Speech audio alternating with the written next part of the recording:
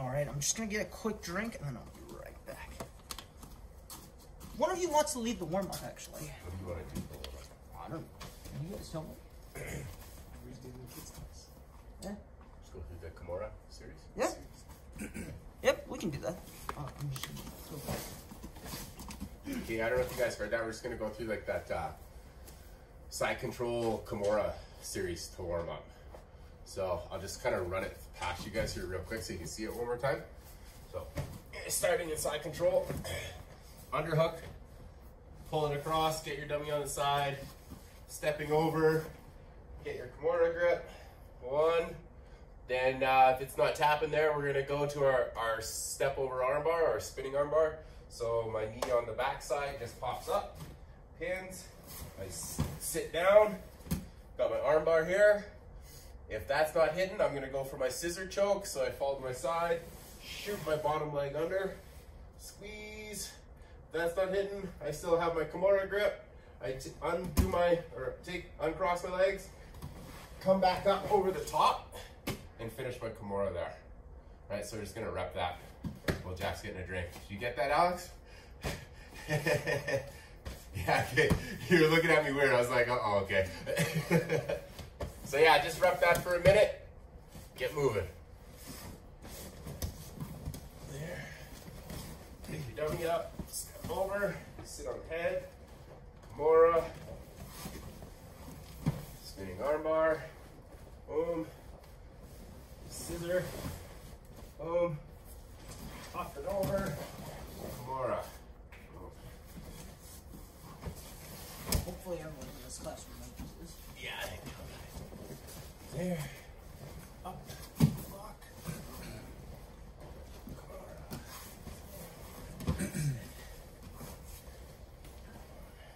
Very useful sequence. I use the head scissor a lot when I was I can see myself incorporating it for sure. And then I stopped for some reason. It's one of those things. I'm like, I'm not sure why I stopped doing it. It's not nice. It's mean. It, it is pretty nasty. Like, Crude but effective is how I've always referred to it. I would almost feel bad doing it to someone. Depends. Odd. Also, I've actually done it to like legitimately high level guys, like guys that have been to worlds and all that, and it's never worked. They just eat it. It's not like I couldn't even get it locked in. I would just be squeezing it would have no flip.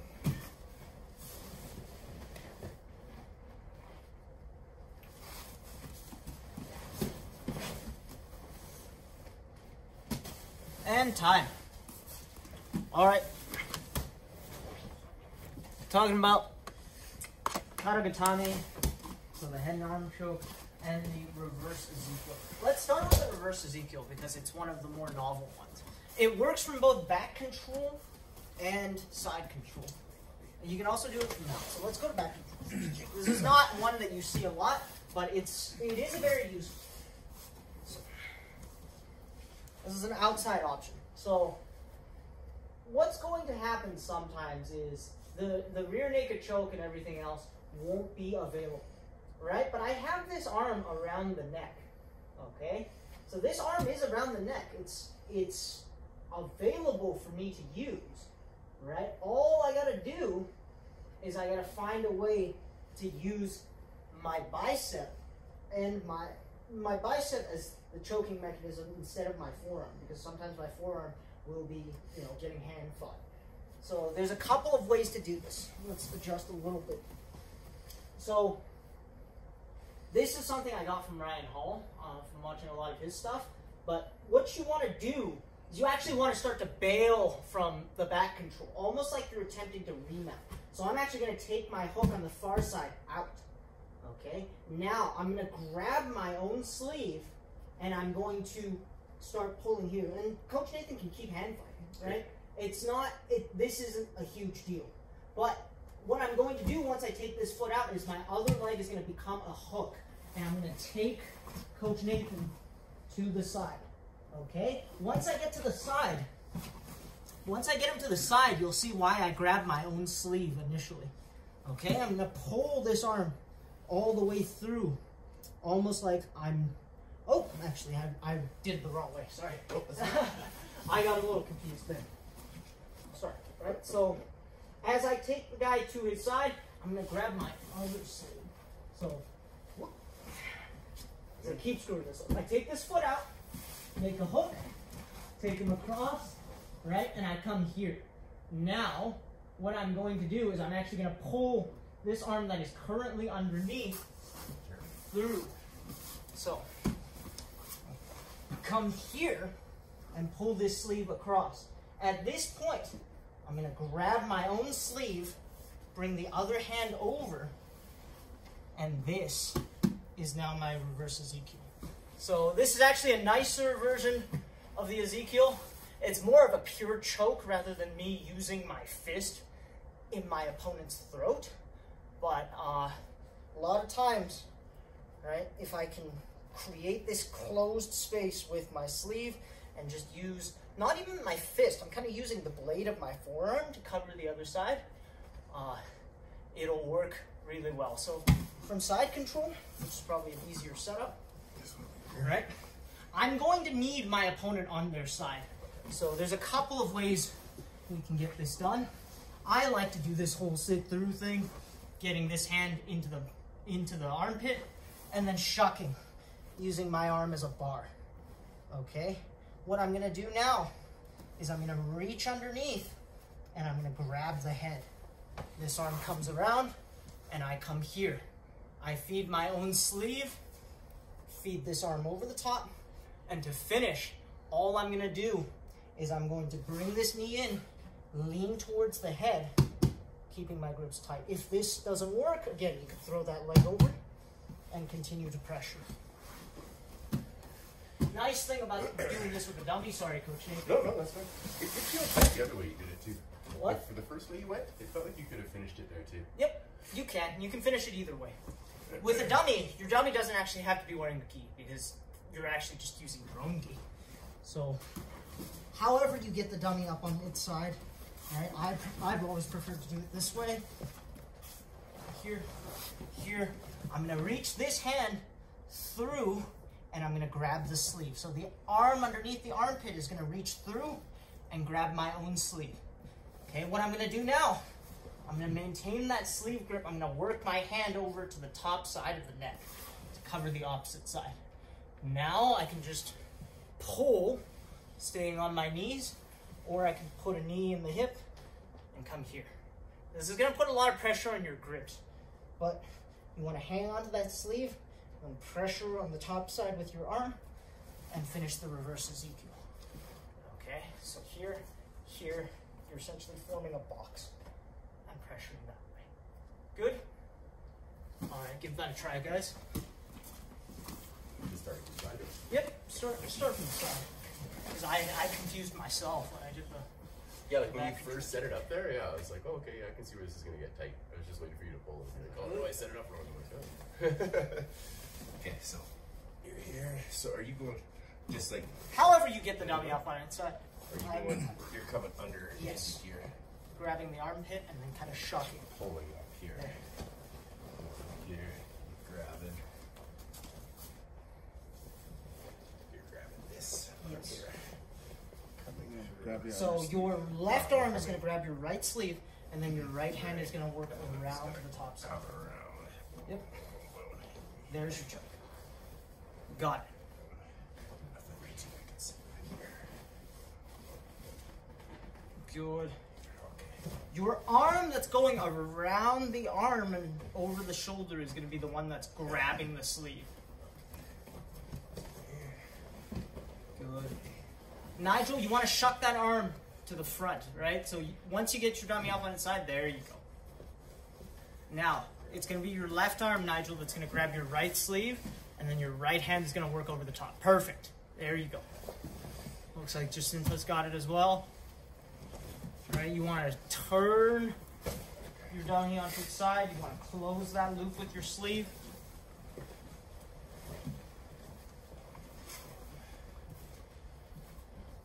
Just backstop them here, or is there any benefit to getting? You can, yeah, you can do either one. Yeah, okay. Most of the time, this is pretty tight, so you can finish it just from the knees by pressuring. But if you need to, you can also lean over, start backstopping the guy, or you can put in a hook in. Yep, just like Coach Nick is doing right now.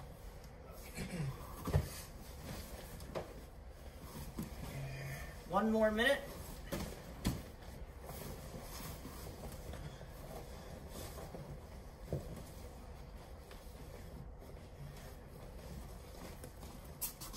Question in the chat.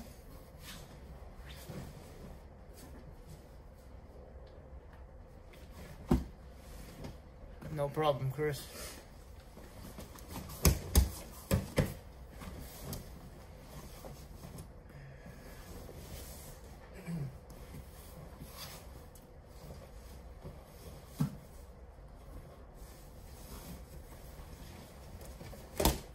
And time.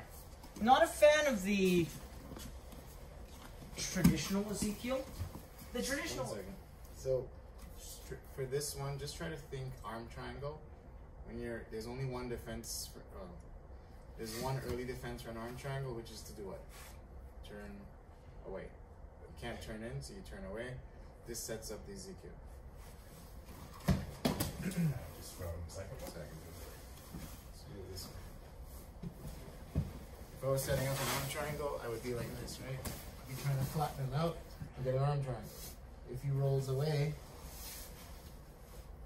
that's the submission right there. Right? So it's just an arm triangle. You're already in the position, you just stick your hand in your sleeve and you go for it. From the back, it's almost the same thing. So normally when you're on the back, right, which hand is he trying to defend against? Top one. So I know that he's defending against the top arm. So I shift my arm up, right? So I take the bottom arm and I bring it up closer to his neck. Normally the bottom arm is down closer to his armpit, right? So if I find I'm trying to set up chokes here and he's defending, that's fine. I pull my arm up. I pull the bottom arm up, and now I can come behind and get the reverse Ezekiel. This is the same as an arm triangle. If it would have just fall to the side, I took my leg out, you would just be in the exact same position. So it's just an arm triangle. So think arm triangle from the back, arm triangle from the side. You just stick your arm in, and you get the Ezekiel. So Coach Handell's got that one figured out. The one thing is that if you're going to go for that one, all right, you, you want to take your leg out so you create that angle for yourself. So I'm here. He's attacking the top arm. I'm going to connect my palms. I'm going to get over here. I feed my sleeve. I work my hand to the other side. And if I, I'm having trouble finishing it from here, I'm just going to take my take my leg out. Right, that's going to give him space to go to that side. I come back up top, and I finish it. So again, it's a fairly reliable finish. Uh, it's not seen a ton. Uh, this is one of the rarer submissions, even in gi jiu-jitsu. So it's a good one to have because people don't expect it, just because it's not very often seen. Okay, so you're gonna pull, right? The idea, again, with common with arm triangles, the arm that's going underneath the armpit that's gonna end up being the choking arm. So you're gonna pull it up high, grab, and then establish your choke. Okay? I challenge you to do this no gi. Oh, it's going to require a lot of grip strength. Actually, Coach Nathan pulled off something to Not, that not effect. you, them. I'm challenging them to do it no gi. It's doable. It's just going to look really weird. You have to think about it. There's a way to do it. I'm pretty sure I see it, but I, I'm pretty sure I can oh, do it. but oh, I'm not. this. It's basically what you did last That's time. homework when for the weekend. Oh, okay, and I We'll just discuss it Yeah. on did it weird and Yeah, it's just like a happened to get some joke. random arm triangle. Yep. Yeah. It's like that. No I know I gi, got an Justin. arm Yeah. here, I'm- Try to figure out how you do it no gi. Yep. Grab your own bicep, Nick, and then go over the top. Grab your own bicep and then cut your hand over the top. trying to figure out so. You want to cut your hand over the top first because you're gonna have a hard time bringing your arm up. True. So you kind of want to do Yeah, that I've asked that, you to use that it a few loop like you do with a rear naked choke. How That's- um, what's his name? Giles, Lachlan Giles explains it. Yes. He does the loop and it brings instead of locking up a rear naked like this, you have the arm in and you. Yes, and then you ram the elbow over the top. That's No, I yeah. noticed What you I always used it a have the couple trouble with times. Ezekiel's is getting that hand. Sorry? over. That's why I struggle with Ezekiel's getting that hand over. Now the second hard part is you know, when you do what's this? That I think the D'Arce. Yeah, when you do the D'Arce, if you have short arms, the trick is to drop your shoulder to the mat. It's the same thing here. My trick with the D'Arce is I don't do it. That's not Just do the anaconda. Is- you're not step, doing it. Step number one, do the anaconda instead. Um, So homework for the weekend. Think about it. All right, move on. okay, so uh, we're gonna talk about the exact same thing, which is the katagatame. Um, head and arm. So more common, uh, but still a very reliable submission. You see it all the time in MMA. The goal with the katagatame, if we're talking about mount or even back control, I want to think about isolating an arm. So a lot of times this is done with an underhook, right? So I'm I'm going to get some sort of underhook. I'm going to walk, walk, walk my fingers along the floor until I can tap the top of my partner's head. At this point, I'm going to shift my head over and put it on the ground. It's actually fairly important at this point to have your head on the ground because that's what's going to seal this arm in here. You can pull on the head and feed your arm underneath. The next trick to the katagatame is palm up versus palm down. Your your katagatame is going to be very very weak if your choking arm ends up palm up. It's just not going to make for a very strong pull or a very strong lock. So you want to actually put your hand on the ground and walk your fingers along the floor to make sure you take up every little bit of space. Once you've taken up all that space, you can bring your other hand in and lock it palm to palm. At this point, you can start squeezing right away, driving down and forward. I've always thought about it as a shoveling motion. So a lot of people make the mistake of pulling to the side, right, like this way, and then pressuring into the head. That will work.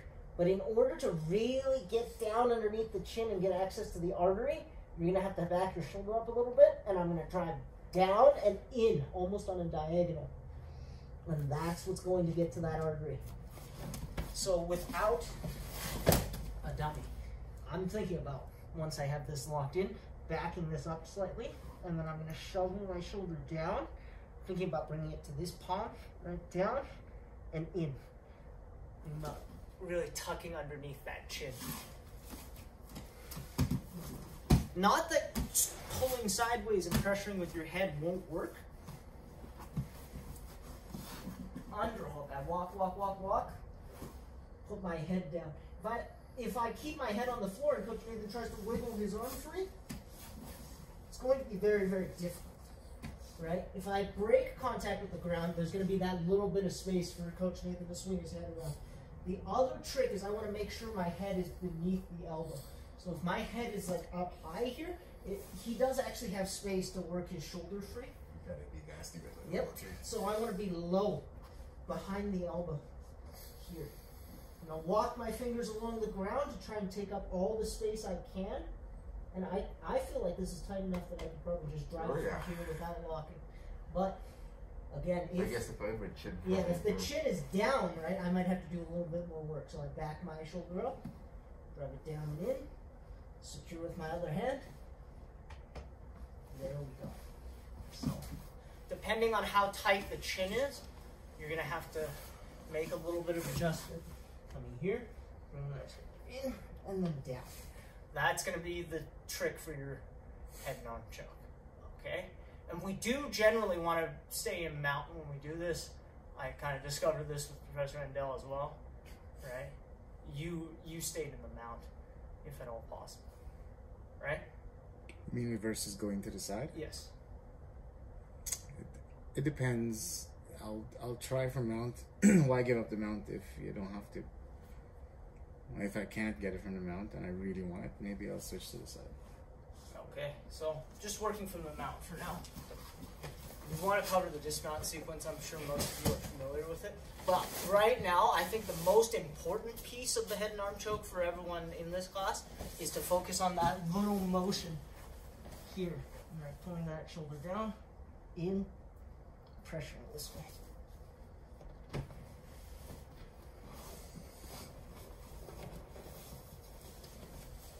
The best way I have to think about this, Justin, as I see you kind of playing with that, is bringing my shoulder to my opposite palm. So if this is the shoulder that's applying the choke, I'm going to think about driving it down and in towards the opposite palm here.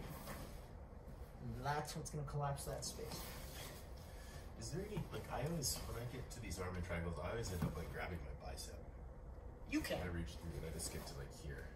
You That's can. not gonna be tight. No. That's gonna hold the position, but it's not gonna help you finish it. Right. Okay. And I always have to get off the side to finish. Yeah, and No. that gives you very little mobility in your shoulder, right? You're like, Uh, okay. Yeah. The key is like what Jack said, you have to walk your finger around so that like all the slack. No, no, the, the other. the other one, the choking arm. Once you set, once you set that elbow. So Or, right now you don't have a choking arm. So you have to. Okay, so it'll be your right arm right now as you're choking.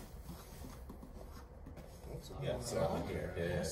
yeah, and you're gonna walk the finger along the floor to set your set your bicep and your shoulder. Oh, I see. So get this in even deeper and then say. And keep your head on the ground. I'm like pushing in here with my hand.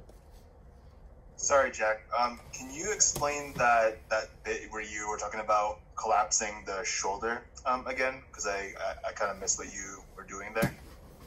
So you guys can see from here, right? So most of the time, I find myself pulling my shoulder back slightly just to give myself a little bit of room. And I'm, I think about taking this shoulder and bringing it into the center of my opposite palm. So I collapse it down and in this way. So here, here, and then I drive forward. So bring your left shoulder in this case, my left shoulder towards my right palm. If you were on the other side, it would be vice versa. Right, that would be my right shoulder to my left palm.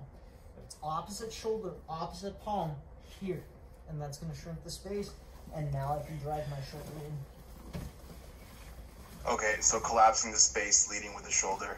Okay. Yes, opposite shoulder, opposite palm. This one, not that one. So this one here, I'm gonna walk up, walk up. No, Oh, right. under the head. Walk along. This is your choking hand. So Yeah. it under the head. Here. And then So to answer Justin's question, this is his shoulder. He needs to take his shoulder and put it on the middle of the chest first, and then drive it forward. So that's that's what Jack was trying to explain. So when you set up your position, so this is for Justin. So if he's watching, actually the camera is on Justin. Why is it on Justin? You need to switch it back. Here. Make sure it's spotlighted though. Yeah. Okay. So what I was saying, choking hand goes around as far as it can. Shoulder, top of your shoulder, needs to come to the middle of the chest. So you bring it to the middle of the chest, and then you go forward and push into that wrist like he was talking about.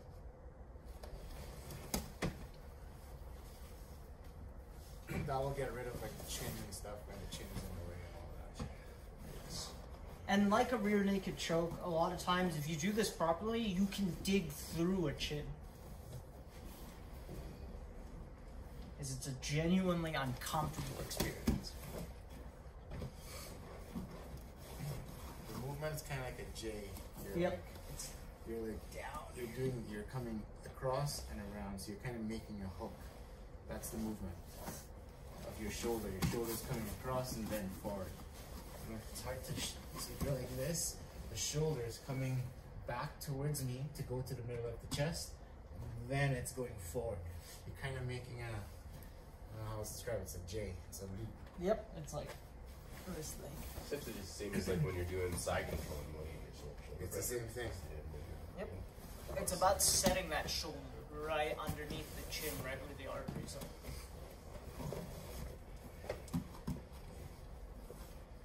And tie.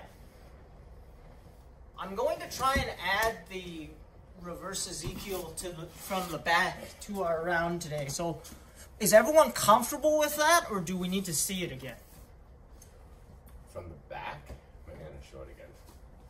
You just did it from top to. Oh, Professor Endell, I've confused myself the first time, and then Professor Endell showed it. So here we go. Right, the idea. So I'm going to end up again pulling my non-choking arm, so my arm underneath the armpit, up over the top, grabbing my own sleeve as I attempt not to grab my rash guard, and then attacking the choke here. Or I can opt to again take my hook out, drop my partner to their side, kick them away, and finish it from the top. Okay, so again, pulling that non choking arm through, grabbing my sleeve, and setting up the reverse Ezekiel. Pull, grab other way. Good. Wrap it around. Good. Take the hook out. There you go.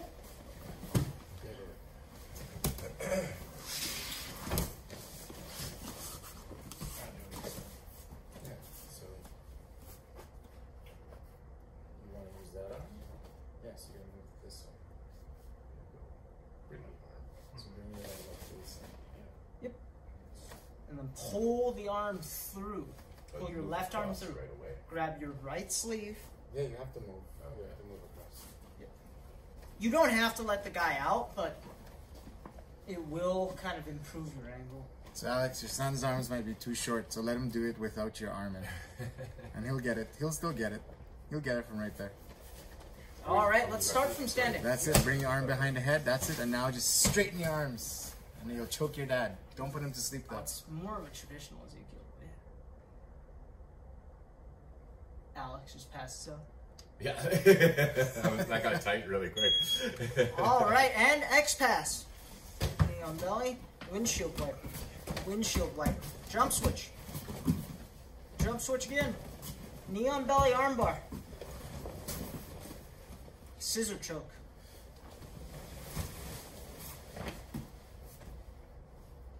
Good. Grab the Kimura grip, back over the top, Kimura. Good. Back step to side control. Switch to the Americana. Back to side control. Take the back.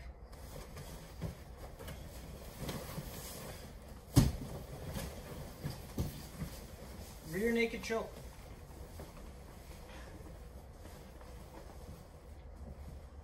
Back to the seatbelt.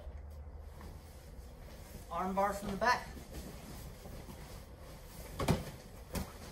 Armbar switch. Armbar switch. Armbar to S mount. S mount to regular mount. Head and arm choke.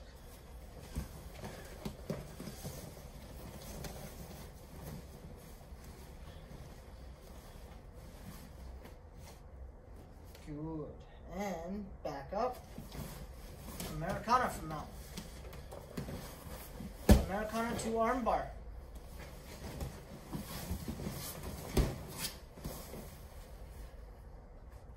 Armbar to S mount. Regular mount. Technical mount. Let's back. Reverse Ezekiel. Yep, you got it. Arm comes around. There, looks like Jacinta's got it. Kick your dummy away, go to side control. Side control, Kimura. Step over, dorsal Kimura. Pick your dummy up. Kimura to armbar. Armbar to S mount.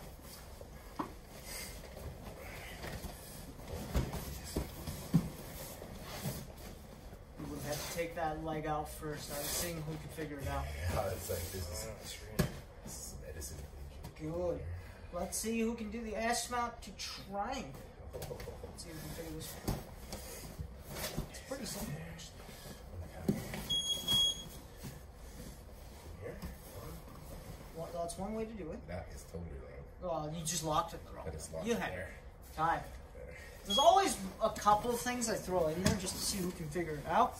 The S mount to triangle is actually fairly simple. So there you go. Okay. Okay. So the S mount to the triangle. If I'm in the S mount, right, I'm already pinched tight. I've got I've got both arms in. All I've got to do is I've got to eliminate one of those arms. There's a couple of ways to do this, but again, I'll show you with Coach Nathan in a second. One of the easier ways that I've seen is to, again, I love this sequence. So you just pull the head, right? Get your partner up onto their side. Keep pulling on the head, and we can eliminate that arm, jumping this one over, taking this triangle. So,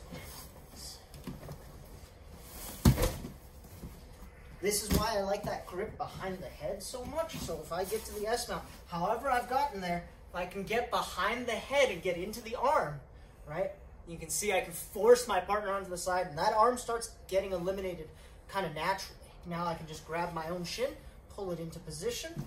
I can come over the top, and then lock here, or not lock in this case, and get the triangle. Okay there's a lot of like common threads as you start to see me teach. A lot of the things I do, there are certain tendencies, right? So I love that grip behind the head and getting into the armpit. I, I only recently realized that this was called the stocks position, or the stockade. Um, not sure if it's a 10th Planet thing, but someone named it. Um, so I've been doing that a lot, and I've been doing that a lot in, in the past year, and it's worked really well both from side control and from the mount. So definitely play with that one. I'm sure there are other ways to get to the triangle from S mount, but this one is the one that's this one's pretty much the only one that's ever worked for me. Okay, so getting behind the head, getting into the armpit, and using your forearm as a bar to start to pressure your opponent's head. Good. Any questions on anything we did today? Arm triangle, reverse Ezekiel, pulling that through in there. You know, questions. Start to think about all the arm arm triangles. Actually, just try to think about all the triangles and how they connect. D'Arce, anaconda, guillotine, normal arm triangle, reverse Ezekiel, Ezekiel, um, and your regular leg triangles. Try to figure out and think in your mind before you go to bed while you're laying down and you're thinking.